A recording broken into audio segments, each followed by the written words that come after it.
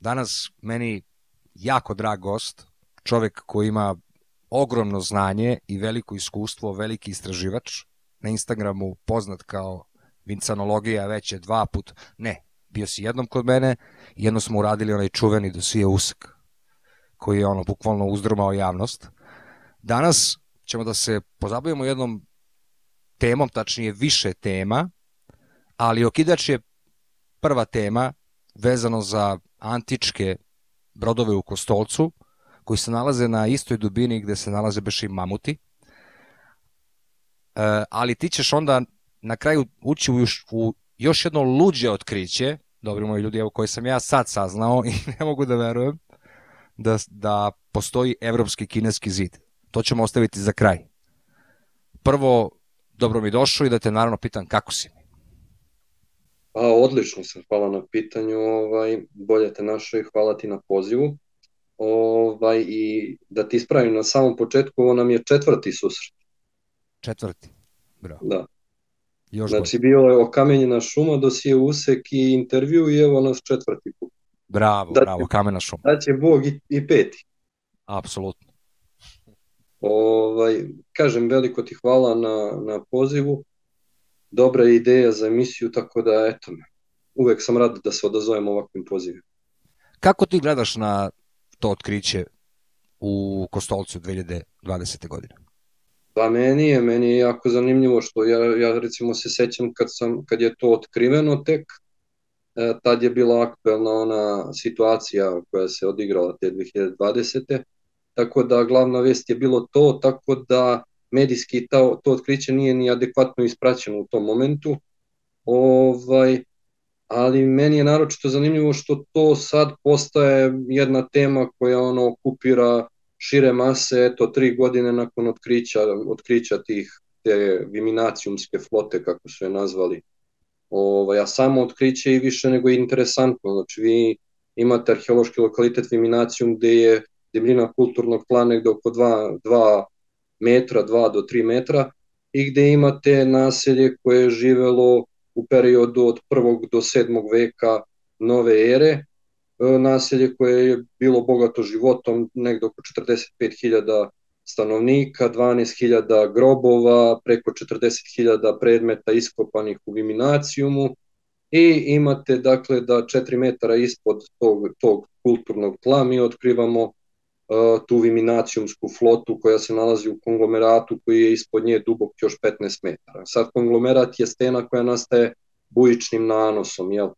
Ovaj, što može da ukazuje na postojanje reke, odnosno neko, neke vodene mase na tom, na tom uh, prostoru. Sad, meni je naročito interesantna datacija tih brodova. Sad, ti brodovi se datiraju od uh, prvog veka nove ere, pa zatim do 10. veka nove ere i ovaj najveći se datuje tamo negde u 15. i 16. vek.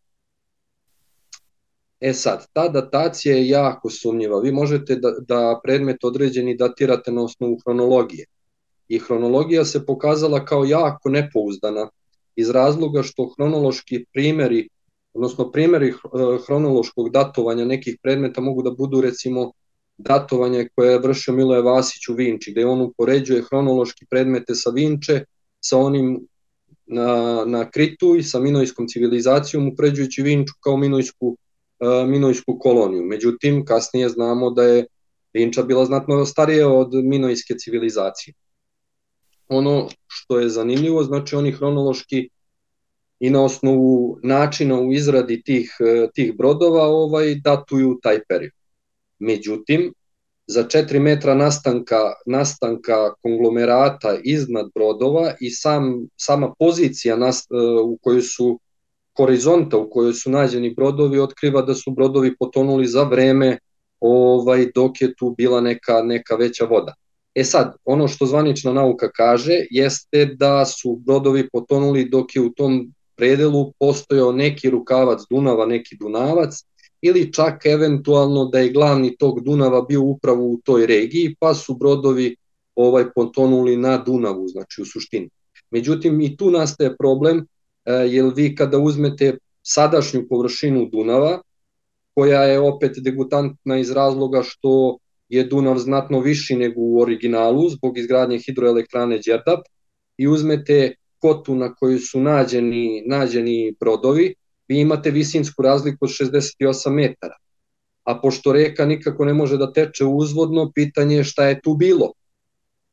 Takođe, visina konglomerata može da ukazuje na to sad hidrografski gledano mi nemamo niti jednu reku koja bi mogla da nanese toliku količinu konglomerata, znači to u određenim uslovima ne može da bude reka, već bi moralo da bude neko znatno veće jezero ili znatno veće more. E sad, slični slučajevi e, su se dešavali i ranije u slučajevima gde smo mi pronalazili monoksile. Monoksili su zapravo ogromna plovila koje se izrađuju u jednom komadu od stabla drveta, posebnim tehnikama i vi zapravo imate bukvalno identične slučajeve gde su monoksili iskopani sa velikih dubina, a gde su datovani u 14. 15. i 16. vek. U suštini, sublimisana poruka takve datacije bi mogla da bude da smo mi u 15., 16. i 14. veku zapravo bili u kamenom dobu. E, monoksili kao, kao plovila su karakteristična za period tamo negde antike i pa negde do 5. veka nove ere. E, ova plovila koja su nađena na na Viminacijumu po meni realno bi mogli da se datuju u periodu od 2300. do 1900. godine. To je moje mišljenje i to ne znači naravno da sam u pravu. Čekaj, čekaj, 2300. pre nove ere ili? Pre nove ere. Na kojoj je to dubini pronađeno? Ja koliko sam čito, to je neka velika dubina. Mislim, meni nije jasno kako tako duboko. Pa pazi, dubina ti je, e, znači imaš uh, ukupno negde oko 6 metara, znači imaš 2 metara gore, imaš 4 metara konglomerata, imaš brodove i imaš ispod njih još 15 metara konglomerata. Pa to ti pričam. Kako ta dubina? Može da se desi da je došlo do erozije, do slegana, sleganja tla, pa da su oni došli u taj horizont. Međutim, tu problem nastaje kada ti u istom horizontu nađeš mamut. Da, zato E, te to, to, to je mnogo, mnogo ozbiljan problem. Znači ti imaš ljude koji su se već pozabavili tim pitanjima i koji se boje da kažu da kad sve to sabereš suma sumarom plus minus, ispada da su brodovi stari negde oko 70.000 godina, što je naravno nemoguće. A što misliš da je nemoguće? Pa ne, nego ti kažem, po zvaničnoj istoriografiji to bi bilo nemoguće, ali kad sabereš plus minus tamo ovamo, ti dobiješ da je 70.000 godina. Ajde da idemo u granicama realnog, ja kažem negde oko između 2300. i 1900. godine, kada na ovim prostorima bujaju ozbiljne civilizacije, mislim ozbiljne kulture. Ko je njihov izgovor? Otkud mamut tu pored broda iz... uh, Opusti maštin. Pa to ti je ovo što sam ti rekao, sleganje tla, erozija. E, znaš, Aha. Dakle, zapravo ti su brodovi sa neke određene visine jednostavno propali u taj deo gde se nalaze mamuti, tako? pa da, recimo evo ovako, padala je prejaka kiša, uh, ovaj, došlo je do klizišta i onda su se ti brodovi survali do. Pa dobro, mislim, to im zvuči koliko to Međutim, međutim ti, pazi, ti nemaš tragova nasilnog uh, potapanja tih brodova. E, E, bravo, Znači, znači, oni su- zato si ti legenda. oni su, oni su u ratnoj formaciji potopljeni gotovo ono kao da si uzo i da si ih postavio u, u formaciju i potopio do. Nema tragova, nema, nema, da, nema tragova gorenja, nema tragova nekog nasilnog bušenja, nečeg, znači oni su samo posađeni tu, eto, tako. Pa dakle, nije mogla biti erozija, jer ja ne znam za tako neku eroziju koja neće još da učini neku štetu na brodu i tako dalje. Pa upravo to, znači erozija, da je, da je došlo do erozije generalno gledano, ti bi imao štete na tim brodovima, oni su potpuno perfektno očuvani. Dve čudne stvari, tako. Imamo mamuta, imamo, kako oni kažu, novije brodove, i imamo onu čuvenu priču da je zemlja nastala mnogo brže nego što se smatra. Da, Ova-. Varijanta mamuti zajedno sa očuvanim brodovima mi prirodno me tera u tom pravcu da zaključim da se sve mnogo brže odigralo. I mene isto, ja već, ono, ja sam u ozbiljnoj dilemi po tom pitanju, iskreno da ti kažem. Tako da, ono, Imaš neki program koji je radio istraživanje, on mislim ono sabiranje na osnovu starog zaveta, na osnovu Pentateuksa, odnosno petoknjižja Mojsijevog, gde ti imaš da, da on sabira kompjuter, veštačka inteligencija sabira i dođe do toga da, da je zemlja stara, stara 6000 godina. E sad ti imaš usmena predanja na prostoru Srbije koja govore o nekim morima kako je bilo tu more gde uopšte nije bilo Panonskog mora. Međutim, u dalekom mi ocenu pre oko 60 miliona godina na prostoru generalno cele Srbije je bilo more, zato ti imaš nalaz onog kita o kome si ti radio emisiju. Da. Razumeš? A ja sad ti recimo imaš, odeš u Novi Pazar i oni dole imaju kao, e, tu je bilo Panonsko more. Mislim, Panonsko more nije bilo tu, bilo je u Panoniji, jel? Znači, ljudi su očuvali usmeno predanje o moru koje je na tom prostoru bilo još u periodu Mioce, što nešto nešto ima ozbiljno. S druge strane, ti imaš recimo da Charles Darwin pre nego što izbacuje teoriju e, evolucije, on pre toga izbacuje sijaset knjiga na temu geologije, jer je on prvo morao da našteluje geološku sliku zemlje da bi njegova teorija pila s druge strane vodu. A i sam je s druge strane izjavio da sve njegove teorije padaju u vodu onog momenta kad vidi ljudski osme. Vidiš? Bravo, bravo. I ovaj I onda tu, tu nešto stvarno, stvarno ozbiljno ne štima. Znači ja kad vidim tu količinu konglomerata koji nastaje, e, znači, sle, e, kako da ti kažem, aktivnostima vode i konglomerat je zapravo pesak, šljunak koji nastaje pod određenim pritiskom. Razumeš? Mene, mene, mene nagoni samo na to da ja razmišljam u, u pravcu da je to bilo nekad tu more kad, kad je ta flota egzistirala. Razumeš? Ali zbog ja. toga što radim, ovaj, ja ne mogu da izađem u javnost sa, sa, sa takvim stavovima i mišljenjima, nego moram da budem malo labilniji pa da kažem 2300 te do 1900. Vidi ovako, hoću namerno samo da šerujem na kratko ovo što je objavljeno, da, bi, da bih ti pročitao sledeću stvar. Dakle, znaš, oni su kao odradili taj neki wow, senzacionalistički članak, ali su ispod naravno ostavili, pošto pripadaju sistemu, informer isto pripada sistemu, ostavili su dole šta arheolozi sa instituta ističu o toj priči. I ovo mi je bilo jako interesantno, znači starogrčkim alfabetom to je podebljano, dakle to je jako važno da se zna. Međutim, ovo mi je najjače. Odmah je kontaktiran Centar za podvodnu arheologiju iz Marseja odmah je kontaktiran centar za podvodnu arheologiju, ali pazi, iz Marseja.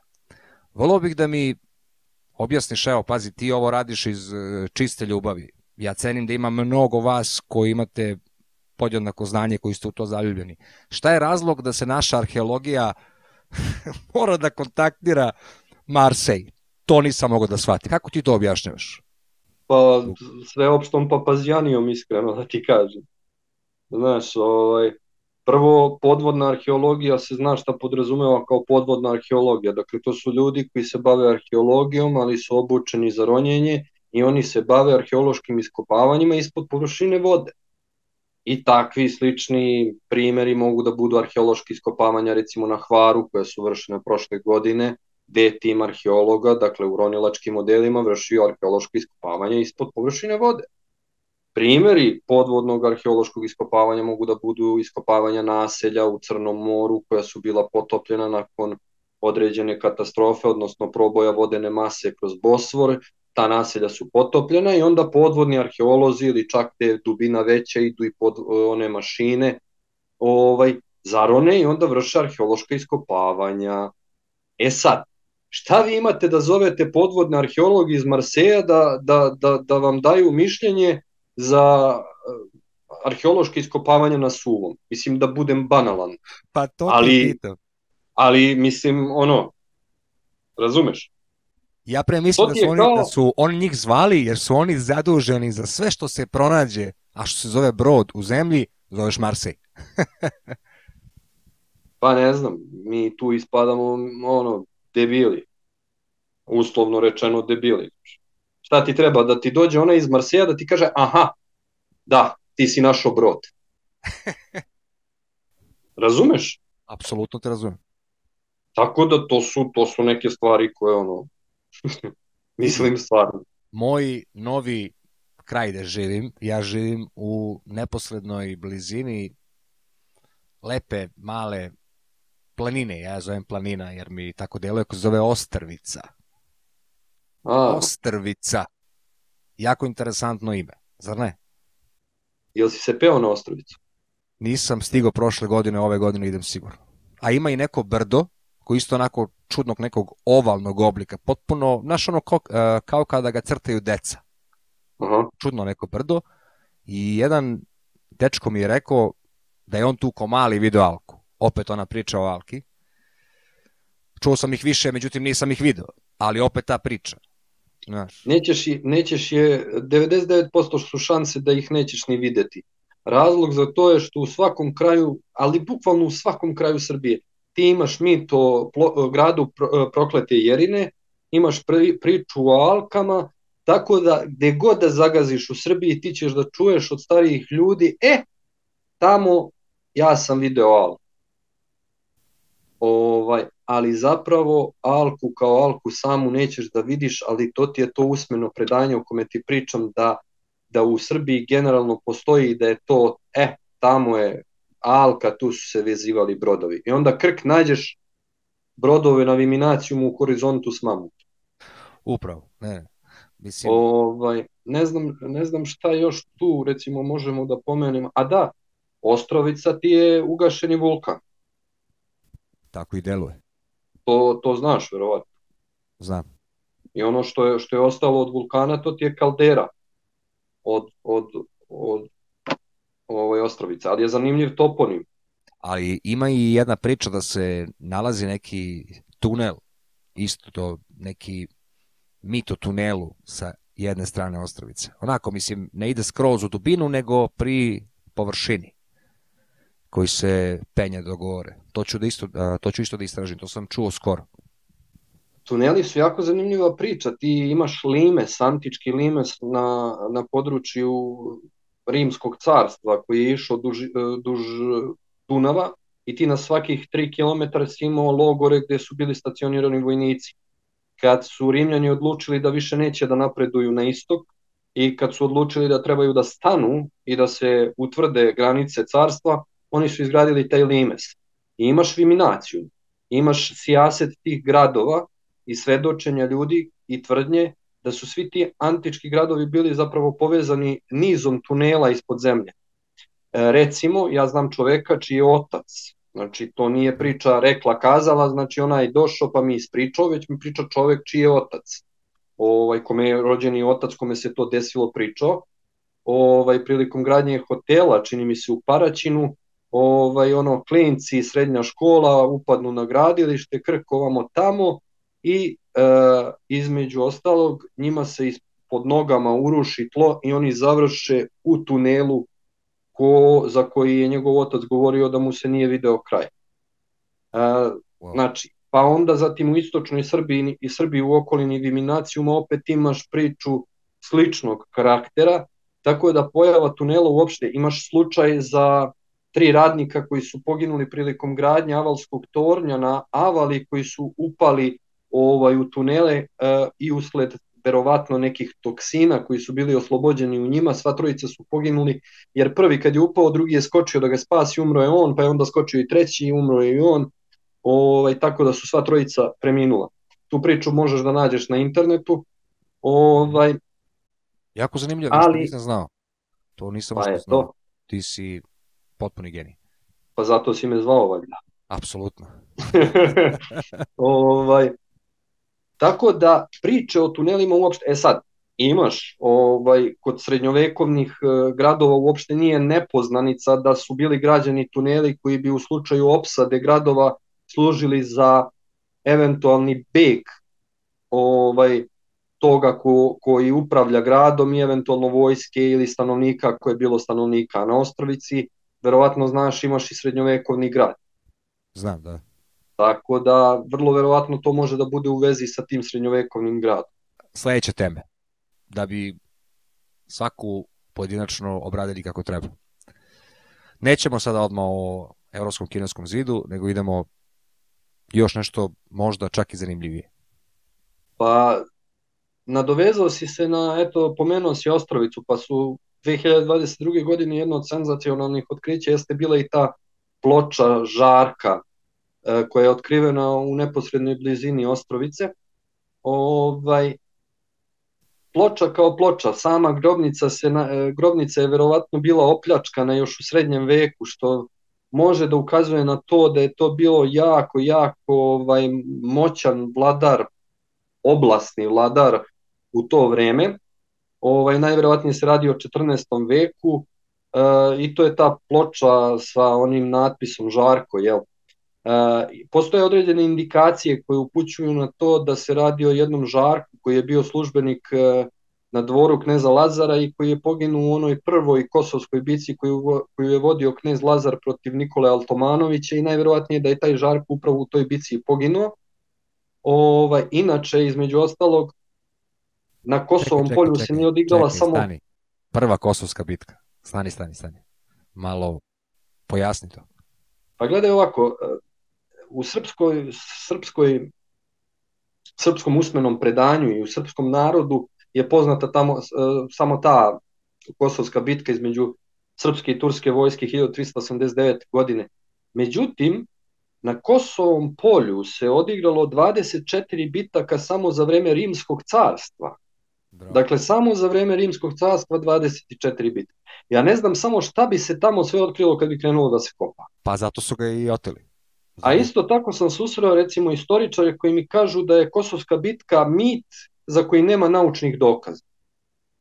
Kaže, moj prijatelj, jeste prijatelj u pravu si, kaže, ja sam bio na Kosovom polju i eno, svi se razbežali, nigde da vidiš jedan barijak, jedno kop. On je istoričar po vokaciji, znači on potencijalno može da predaje deci u školi. I kaže, Kosovska bitka je mit. Isto tako recimo kaže, kaže čovek, meni Marko Kraljević je fiktivan lik, nema, nema dokaza da je postojao. A kaže, Robin Hood je postojao. Pa to ti ovaj Marsej sa početka. Reko, reko jeste, reko i Snežana i sedam patuljaka su isto realni likovi. Naravno. Tornova ružica isto. E sad, otišao sam predaleko, ti me vrati kad odem predaleko. Ovaj, dakle, ta, ta bitka se odigrala nekih 20 godina pre, 15 godina pre uh, Kosovske bitke 1389. godine i tu su se sukobili Nikola Altomanović koji je vladao oblasti tamo oko Užica, dakle srednjovekovni grad Užica, onaj koji je skoro restauriran, je bio grad iz koga je on vladao. Uh, on se sukobio sa, sa knezom Lazarom na Kosovom polju.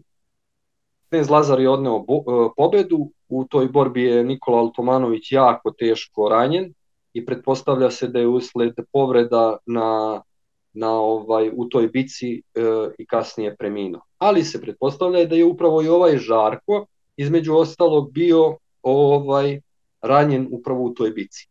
Ono što je naročito zanimljivo jeste da se pored tog otkrića otkriva i jedna e, grobnica na dve vode koja je karakteristična za ranohrišćansku ranohrišćanstvo.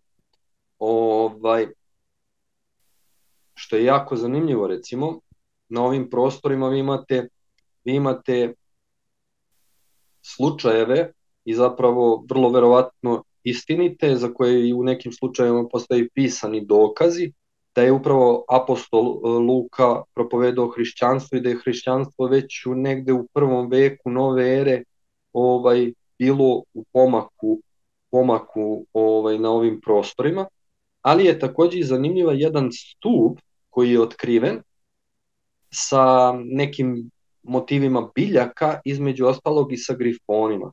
Taj stup je ovaj jako, jako, jako uh, detaljno i predobro odrađen, da ukazuje na to da se radi zapravo ne o jednom lokalnom velmoži, već o jako moćnom i uticajnom čoveku onog, onog vremena.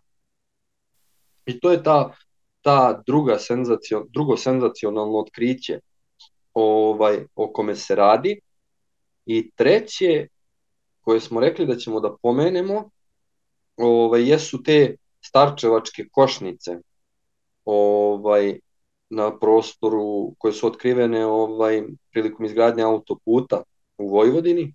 Do otkrića tih košnica smatralo se da su za vreme vinčanske civilizacije i starčevačke kulture e, stanovnici tih tog društva e, med dopremali tako što su ovaj taj med sakupljali iz košnica divljih pčela i da zapravo pčela još uvek nije domestifikovana uslovno rečeno, odnosno da se nije pristupilo njenom uzgoju planskom. Međutim, vi imate najstarije košnice u Evropi, potpuno identične s košnicama koje su se gotovo do juče na prostoru Balkana koristile u ruralnim delovima, e, delovima dakle, na selima, na brdima, dakle potpuno, potpuno identične i što je premijerno, a to je otkriće da su generalno, dakle, vinčanci i starčačani poznavali i uzgajali pčele, što je jako, jako zanimljiva, zanimljiva ovaj, uh, činjenica. I tu dolazimo do jednog još zanimljivog detalja, to je taj naš rodoslov koji je karakterističan samo za naš narod, našu mitologiju i naš kult, a to je da mi imamo imena i za pradedu i čukundedu i možemo da idemo unazad daleko, daleko, ali ako odemo najdalje, e, naš ženski potomak se zove bela pčela. A kult pčele, generalno gledano, u Srbiji je jako, jako zastupljen. E, prilikom svega ovoga što pričam, ja ne indiciram na neke, neke ovaj veze, recimo nas, sad i tih tamo, jel? Nego ja to tako pričam. I ovaj, I šta se dešava? Ti imaš recimo usmeno predanje o pčelinjem gradu u Komolju. Kada je jedna pčela, kraljica pčela, ovaj, odlučila da zove sve pčele, pa je svako, uh, konstantno vičala, vikala zum, zum, zum, zum, i onda su se pčele iz čitavog uh, sveta, tada poznatog, sakupljale tu, uh, ne znam tačno do detalja, možda bi mogo i da nađem pa da ti pročitam. Dakle, pčela, a vidimo da pčela na ovim prostorima ima kontinuitet od nekih 8000 godina, što je više nego interesantno. Vratit ćemo se u kasnijoj priči, opet na homolje koje smatram jako ključnom i jako bitnom karikom u razumevanju naše daleke prošlosti. Takođe, prošlost Balkana, generalno gledano, ne podrazumeva samo ono, onaj, onaj period gde mi imamo uh, podatke o pisanoj istoriji, već vi imate jednu civilizacijsku tekovinu koja traje na ovim prostorima već dugi, dugi niz milenijuma, a jedina razlika između one u kojoj mi imamo pisane tragove jeste taj što nam iza te civilizacije koja je trajala milenijuma mi, mi nemamo uh, bukvalno pisane tragove, ne znamo kako se zvao vladar ili tako nešto tome slično. Vidi ovako, da se samo malo vratim na priču o Kosovu.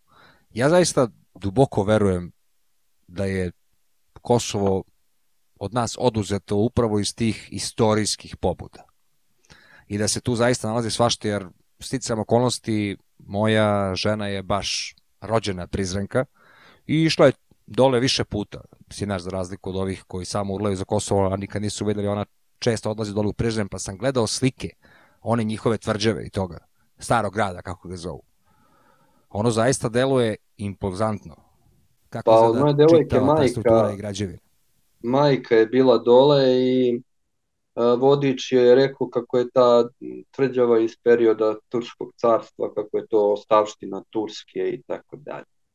Mislim, to je toliko bolna tema, to je toliko poražavajuće, to je toliko, toliko, znači ono, ja kad sam čuo za to da su joj rekli, ja, ja ne mogu da ti opišem koliko sam se ja iznervirao, znači, me, me, mislim, razumi činjenicu, kralj Milutin iz svetorodne loze Nemanjića je bio čovek koji je sagradio crkvu u Jerusalimu i mi smo imali svoju crkvu, srpsku pravoslavnu crkvu u Jerusalimu, koja je između ostalog bila ikonopisana e, i bila optočena zlatom i srebrom. Kralj Milutin je darovao i crkvu, oltar crkvi Svetog Nikole u Bariju, koji je i dan danas tamo u Bariju gde se nalaze mošti Svetog Nikole. E, država koja je bila toliko moćna, između ostalog, ne, ne čuvaju Bugari za džabe njegove mošti u Sofiji.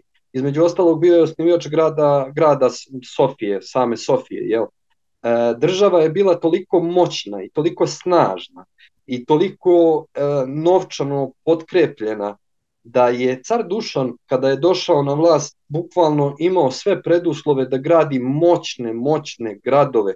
I primer toga je Lavra Svetih sedam arhangela u, pri, u Prizrenu, na periferiji Prizrena, da. a to je grad Prizrenac, koji je car Dušan izgradio kao prethodnicu grada Prizren. I normalno je i sasvim je logično da jedna predstavnica jednog carstva bude toliko impozantna. Poražavajuće je to što danas Albanci tu prestonicu e, permanentno pokušavaju da jednog dana zaštite kao tursku ostavštinu. Ma pazi, mogu oni da zaštićuju šta hoće, znaš kako, sve se vrati. Znaš, mislim, Karma ja mislim da, da ljudi uopšte ne trebaju da mnogo očajavaju i da duguju. Takvo je vreme, takve su trenutne sile, ali ovaj naš život je trenutni, upamtite, postojaće neke buduće generacije koje će to vratiti i uopšte ne trebaju ljudi da, da ne znam, ono baš upadaju u neki očaj.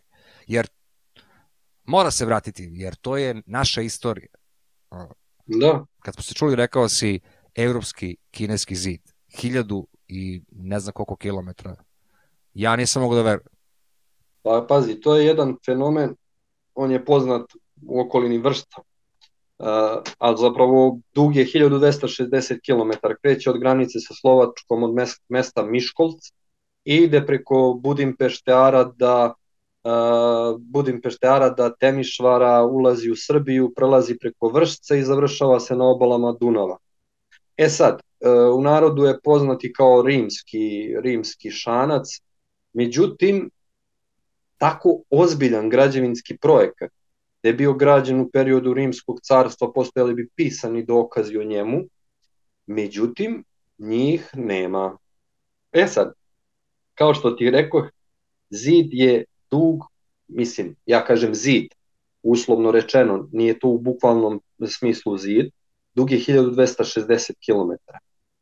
To je poređenja radi vazdušna linija Beograd-Pariz. Da bi ljudi razumeli koliko je to otprilike. Ono što je još zanimljivo. Kako su ga gradili? Sad ću da ti ispričam. Ono što je zanimljivo jeste da u pojedinim delovima taj zid ne, e, nije samo jedan sistem rova i palisada, već je najverovatnije u nekim delovima imao i tri reda. E sad, pisanih dokaza nemamo, on je građen tako što je kopana jedna rupa, uslovno rečeno rov, dubine 3 metra, a zemlja koja bi bila iskopana a, nabacivana je na, jednu, na jedan deo gde se e, ta zemlja izdizala. Pretpostavka je da zapravo to nije šanac niti palisada, već da je jednostavno, pošto se radi o močvarnom tlu, e, kopan, kopan, e, kopana zemlja kako bi se put izdigao iznad te močvare.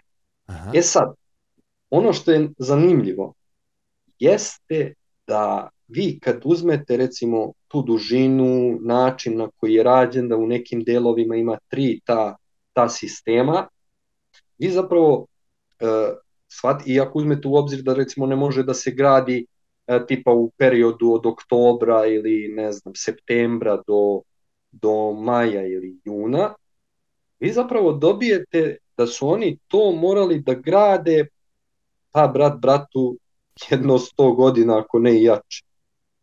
E sad, s obzirom da nema pisanih tragova, vi onda možete da pretpostavite i, i ove, ja sam pričao s nekim ljudima koji su smeli pa kažu da to nije napravljeno u periodu e, vinčanske civilizacije. Kako dođemo do tog zaključka? Zato što upravo u toj regiji gde taj put i taj, taj zid počinje, vi zapravo imate ležišta e, e, obsidijana obsidijan je bio jako bitan, bitan ovaj resurs u Vinči. i usput je prolazio preko Vršca koji je bio ogroman distributivni centar za dalje ovaj, u vreme Vinče. I onda postoji smela teza da je zapravo to izrađeno u periodu Vinče. E sad, postoje određene tendencije i određena struja koja gradnju tog zida povezuje sa avarima, međutim uzimajući u obzir da su avari bili nomadi, konjanici, e, to bi bio previše, previše ozbiljan poduhvat da se oni prepuste granji ta, e, tako nečemu toliko velikom. Dakle, mora da postoji dobro uređenje, centralizovana vlast i jaka država, uslovno rečeno, da bi se tako veliki projekat isplanirao u graditeljskom smislu, zatim organizovao narod, radna snaga i zatim on sam izgradio. Pošto nemamo pisanih tragova iz Rima, nemamo pomena pre toga, ovaj, ostaje nam samo ovo kao najlogičnije objašnjenje. A je on konstantan, 1300 km ili ono ima pa nema, ima pa nema? Kako? Pa u savremeno vreme, ako uzmemo u obzir ovo što sam ja rekao, znači on bi bio negde star oko 8000 godina, danas normalno u nekim delovima ga nemaš. Ali najverovatnije da kao onog momenta kad je bio izgrađen, on je bio konstantan. Šta misliš od eh, čega su se čuvali? Meni je potpuno najlogičnije objašnjenje da je to zapravo bio jedan put koji je bio izdignut iznad tog močvarnog tla. Ali, i to je degutantno iz razloga što ako je bilo močvarno tlo, da bi ti kopao rupu dubine 3 metra, ti faktički nakon pola metra kopanja metar, ti si već do pola, do pasa u vodi. Pa upravo, to je prilično... I onda nema logike, znači da je ono kopano tako da od koga su se branili, to je sad već ono, pusti mašti na volju. Vidi, ja sam prošle godine baš ukopavao kanister za vodu. Dakle, kad, kada je iskopana rupa i stavljen kanister, nije se dešavalo ništa. Uveče, uveče je tek počela vodica. Pazi, to je iznad potočića, koji samo što nije presušio u avgustu. Da. Već sutradan je bilo 20 cm vode. A sam možda zamisliš ako je neko kopo u već močvarnom tlu, Dakle, to bi za već sat i po dva bi se to punilo.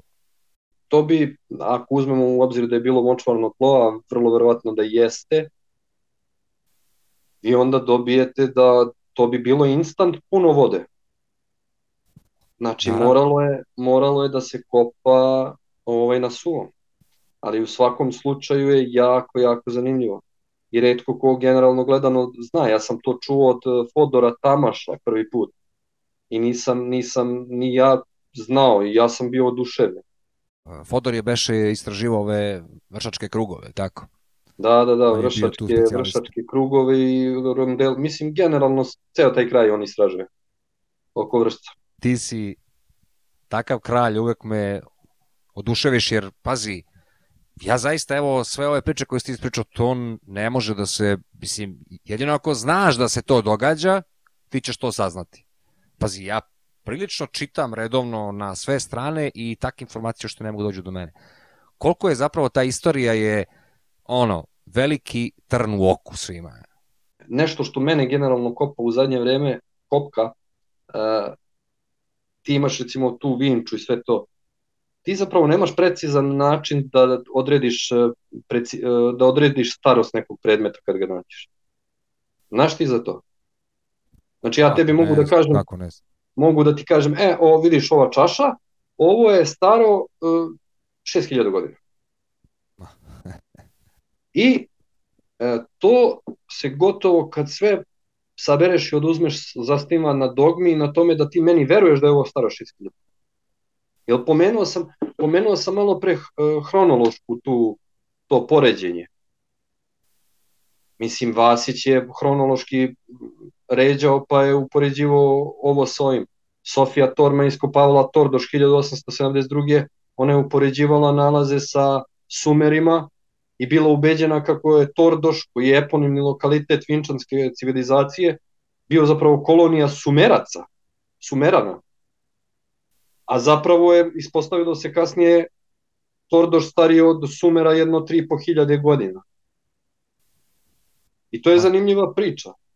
Isto gde ti imaš uh, jedan grad u kome su nađena svetilišta sa pramordijalnim oblicima božanstava koje kasnije nalazimo kod Hetita, Sumera i u Mesopotamiji. A zapravo su vezana za Vinču. Istorija je toliko istombana, evo, sad sam baš pre neki dan, ono, uveče sam pogledao, ima jedan sjajan istraživač, ovaj stranac, uh, ne znam kako se zove, beše Brian, uh, Petru snimao. Mislim, ona Petra, znači onaj kamen, ukles, znači pazi ti koliko su oni prostoriju uklesali u kamen koji je 7 od 10 čvrstoće, gde je 10 dijamant, ljudi. znači, sedmica, pazi, oni su čitavu prostoriju, ono, akustičnu, A znaš ti priču? Prostoriju, čime su to rezali? I ne samo to, nego i one holove su širili. One silne rupe, jesi ti koliko ima tu pećina? Pa ko je bre kopo taj kamen, bre? A čekaj, a znaš ti priču, priču ko, ko su graditelji Petra? Znam, rekli su beše, kako se zove, na H nešto. Neki, mislim, ne znam nija kako se zovu, ali ovaj u pitanju je da po njihovoj teoriji to su bili nomadi, znači oni što jašu kamilice. Da. I onda u jednom momentu su se oni toliko obogatili da su napravili Petru. Jel to ima neke logike? Pa naravno da nema logike. Mislim, kojim alatom ćeš ti da probiješ kamen? Evo ja sam baš prošle godine bušilicom, hilti bušilicom, pokušao da izbušim svoj kamen, znaš, da bi sakrio neki kabel. Pazi, posle 10 minuta sam odustao. Vidio sam koliko bi mi vremena trebalo da samo jedan kamen ovoliki probijem. Znaš, kao bre, sad tu je neko urezao čitavu prostoriju. Generalno gledano, sedam po mohu nije mnogo nije mnogo tvrdo, mislim, nije tvrdo, tvrdo, ne znam, toliko. Znači ti imaš 5, 6, 7, 8, 9, 10. Sedmica ti je tu negde sredina. Nije to baš toliko tvrdo, ali je opet da uradiš sve to, druže, ozbiljna stvar. Ozbiljna stvar. A pazi ti, ti recimo, to nije ništa nemoguće. Zašto? Ti imaš ti imaš da su Vinčanci uh, bušili žadeit. Žadeit je tipa 8,5 9 po mohu. Znači dva puta, dva puta uh, tvrđi od ovog u Petri. Ludilo. I bušili su ga ono, ništa teško. Pa vidi, pazi, možda su Petranci, ako tako mogu da ih oslovim, uh, znaš, možda su oni upravo preuzeli tu staru tehnologiju, znaš, ili su možda imali neko znanje o njoj. Znaš, možda Pazi, već ono... U, u tom istorijskom kontekstu e, tehno, tehnološka dostignuća se najlakše prihvataju. Znači ti kad odeš na ne, neko tehnološko dostignuće koje će tebi da olakša život, ti ćeš ga ovako prihvatiti. Iz razloga što će ti ono olakšati život, tvoju svakodnevicu. Međutim, najteže se u istorijskom kontekstu, u arheološkom kontekstu prihvataju religijski i kultni, e, kultni obredi. To je, to je najteže. Tako da ti, što se tiče tehnologije, ljudi to olako, olako shvataju. Mislim, olako prihvataju. Da, da, jasno, jasno, jasno. E, ali kad smo pomenuli već kult i religiju, nešto o čemu bi takođe hteo da kažem reč dve, jesu a to je onaj vlaški ključ što sam ti slao. Jeste, sećam se. Ovaj, jesu obredni hlebovi koji se pripremaju na pomanama u homolju, ništa specijalno. Međutim, čitava ta priča oko Vlaha je više nego interesantna. E, Vlahje, ti imaš ovaj, e, imaš ih recimo u Dalmaciji, gde se pominju recimo na Istri ih imaš kao ćeribirci, oni su generalno gledano ovaj hrvatizovani ovaj tako da danas izjašnjavaju kao Hrvati, jezik im je maltene ugrožen, ono iščezao, imaš morloke, crne vlahije. Zatim imaš cincare vlahije. Imaš vlahije kod nas. Imaš slučaj da drugi narodi, odnosno narodi, ajmo, narodi, za Srbe kažu da su Vlasi.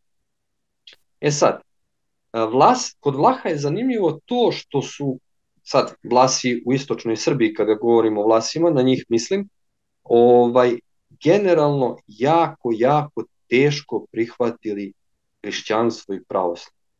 Suštinski gledano, oni ni danas nisu pravoslavci u toj meri u kojoj smo recimo mi iz Šumadije ili ne znam, iz Vojvodine, iz podnožija Fruške gore ili ne znam, iz doline Velike Morave. Oni su u suštini ostali dalje na nekom nivou i u nekom obliku staroverci. I sad, šta se dešava? Ti imaš kod njih jako to usmeno predanje s jedne strane, a s druge strane imaš taj kult hleba, odnosno obrednih kolača koji se pripremaju za njihove te pomane kada čovek umre.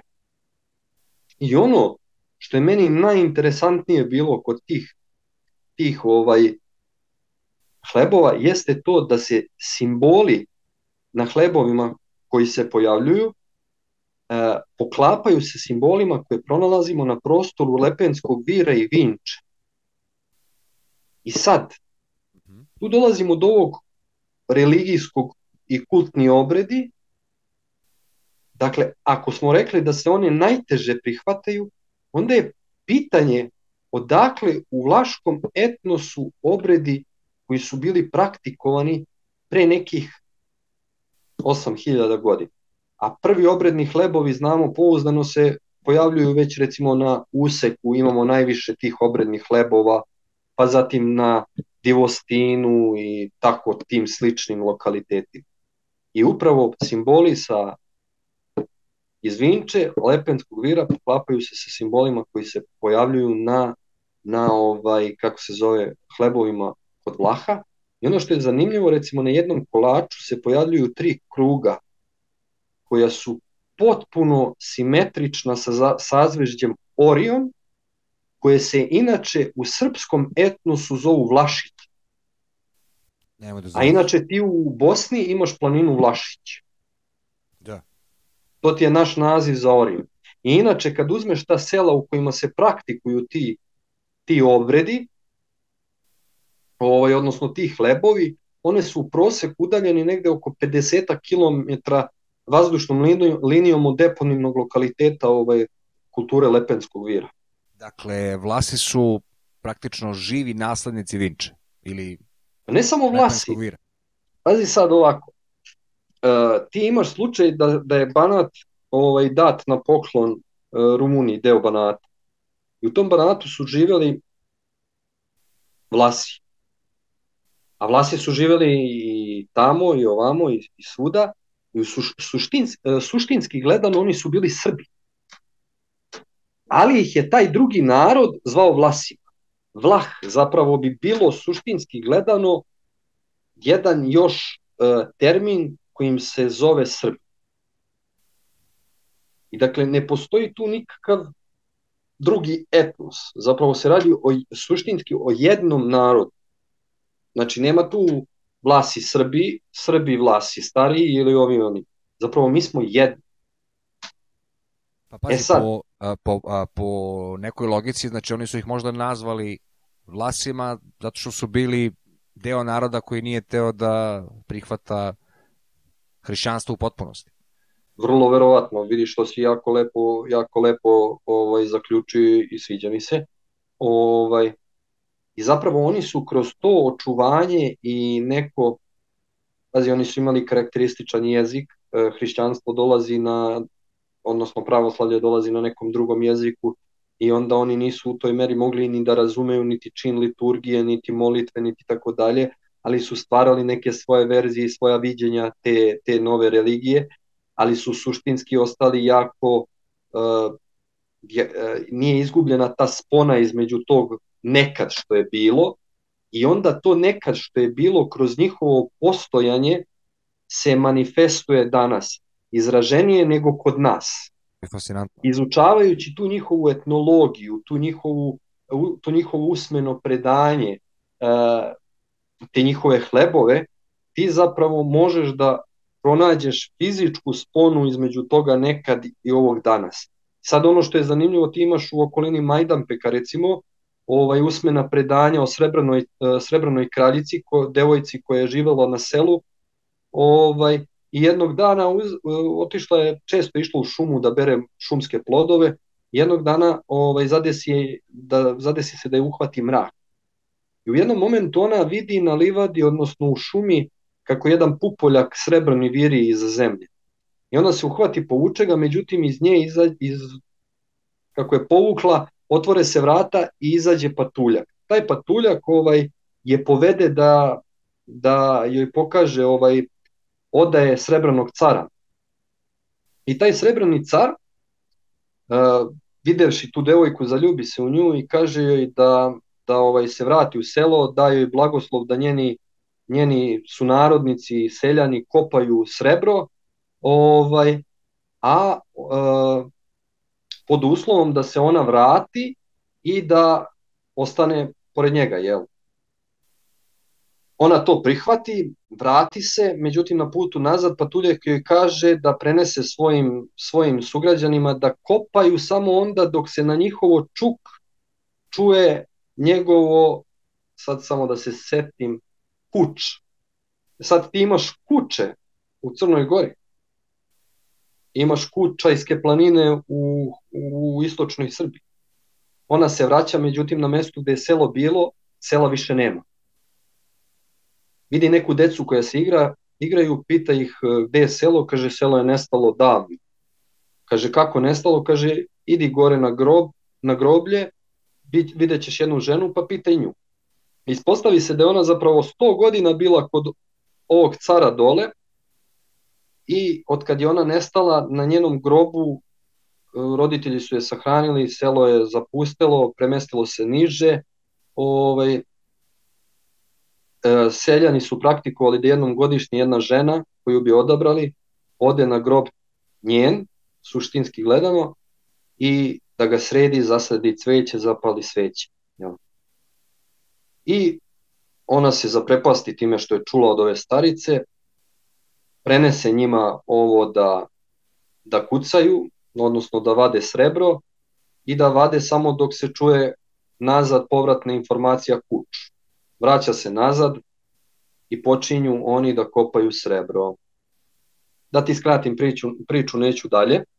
Među, međutim, šta je zanimljivo? Upravo u tom kraju ti imaš najstariji rudnik na prostoru Evrope E pitanje je odakle usmeno predanje o Srebranoj kraljici i o ovima koji će da kopaju rudu, ako ovaj, ti znaš da si pre 8000 godina imao rudnik tu.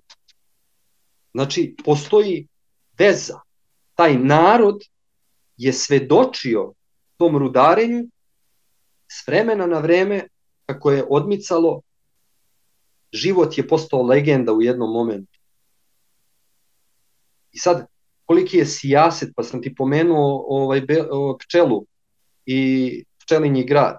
Znači, sijaset tih, tih ovaj, paralela koje mogu da se po, po, po, povuku ako je sve doče u prilog ovaj, kontinuiteta.